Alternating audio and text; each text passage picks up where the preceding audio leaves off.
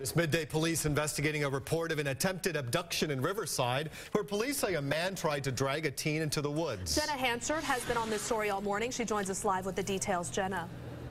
Good morning. Police say that it happened around 6:30 this morning. A seventh grader at Lakeview Middle School was standing at her bus stop right there when a man, a 30-year-old man, put his hand over his mouth, her, mouth, excuse me, and tried to drag her off into those woods. That's what police are saying here this morning. Two people were walking past the area on Northwest Gateway and Mandan Road when they saw a struggle and stopped it, and they immediately called the police. The young girl is home safe with her family at this time. She does not have any injuries, but parents who drop their kids off at the same bus stop are talking to their kids this morning about stranger danger.